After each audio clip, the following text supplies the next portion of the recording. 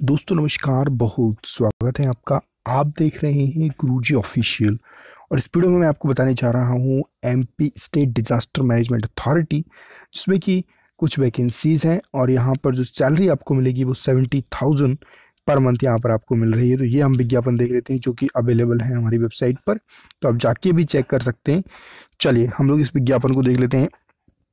मध्य प्रदेश राज्य आपदा प्रबंधन प्राधिकरण की तरफ़ से विज्ञापन जारी हुआ यहाँ पर अगर हम बात करें तो 20 आठ 2019 को ये जारी हुआ था और फॉर्म इसके स्टार्ट हो गए हैं। एमपी ऑनलाइन के माध्यम से आप डायरेक्ट जो है फॉर्म फिल कर सकते हैं।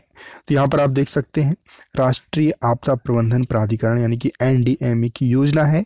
Improving disaster risk governance at state disaster management authorities, district disaster management authorities level की उप योजना, अन्य आपदा प्रबंधन योजना, अदर डिजास्टर मैनेजमेंट स्कीम के अंतर्गत मध्य प्रदेश के निम्नांकित आठ जिलों को चिन्हित किया गया है। इसमें आठ ज़िले हैं, राजगढ़, दमोह, छतरपुर, खंडवा, विदिशा, गुना, बड़वानी और सिंगरौली और दोस्तों, यहाँ पर अगर हम बात करें तो इस योजना के उद्देश्य क्या है?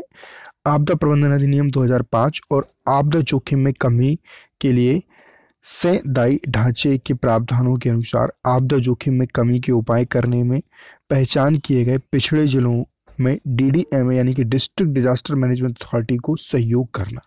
इसके अलावा दोस्तों, अगर हम बात करें तो आपदा प्रबंधन अधिनियम और सेंडाई फ्रेमवर्क और राज्य आपदा प्रबंधन योजना के प्रावधानों के अनुसार जिला आपदा प्रबंधन योजना यानी कि डिस्ट्रिक्ट डिजास्टर मैनेजमेंट प्लानिंग की तैयारी, संरेखण, यानी अलाइनमेंट में मदद करना।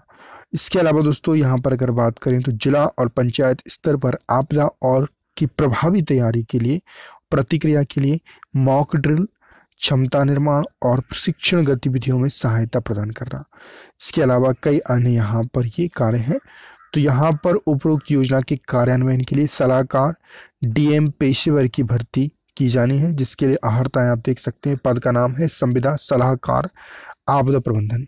शैक्षणिक योग्यता किसी भी विषय में मास्टर डिग्री और मास्टर डिग्री यानी किसी भी विषय में अगर है तो भी आप अप्लाई कर सकते हैं।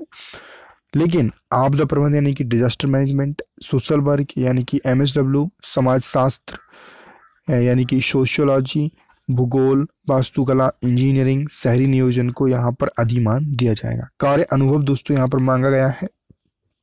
कार्य अनुभव की अगर हम बात करें तो उम्मीदवारों को आपदा प्रबंधन से संबंधित क्षेत्रों में न्यूनतम पाँच वर्ष का अनुभव होना चाहिए। संबंधित क्षेत्र में पीएचडी रखने वाले उम्मीदवारों को न्यूनतम योग्यता तीन साल का अनुभव होना आवश्यक है। उम्मीदवारों को आपदा प्रबंधन योजनाओं और दिशा निर्देशों की तैयारी या आपदा प्रबंधन से संबंधित क्षेत्र में कार्य करने का उचित अनुभव होना चाहिए। इसके अलावा शासकीय, अर्धशासकीय विभागों में आपदा प्रबंधन के कार्य का अनुभव रखने वाले उम्मीदवारों को यहाँ पर प्राथमिकता दी जाएगी। अधिकतम आयु दोस्तों यहाँ पर 65 फाइव ईयर्स है। तो यहाँ पर दोस्तों कुछ महत्वपूर्ण शर्तें हैं जो आप डायरेक्ट पढ़ सकते हैं, जाके वेबसाइट पर वेबसाइट हमारे जो है पेज पर सॉरी वेबसाइट पर ये अवेलेबल है। पोस्ट वहाँ से आप जो है, इसको पढ़ सकते हैं। यहाँ पर मैं आपको बता दूँ, ये जो है, इसका जो प्रकाशन हुआ था, इक्कीस, इकतीस आठ दो हज़ार उन्नीस को हुआ था।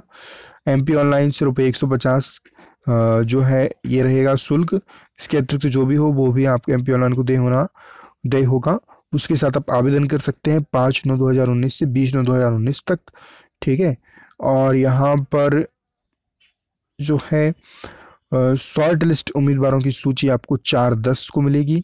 साक्षात्कार के लिए आपको कॉल लेटर मिलेगा सात दस से ग्यारह दस के बीच। साक्षात्कार आपका सोलह दस को होगा। सफल उम्मीदवारों की प्रतिशत सूची का चयन प्रकाशन होगा इक्कीस दस को। नियुक्ति पत्र जारी होंगे चौबीस दस को। कार्यभार ग्रहण करने की अंतिम तिथि एक ग्यारह दो हज़ार उन्नीस रहेगी। तो ये पूरी की पूरी आपको यहाँ पर जानकारी यहाँ पर मैंने दी है। और सैलरी वगैरह आपके यहाँ पर बहुत अच्छी है।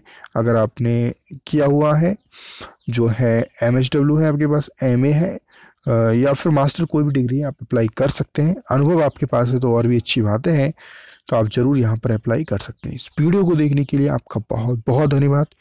Thank you thank you very much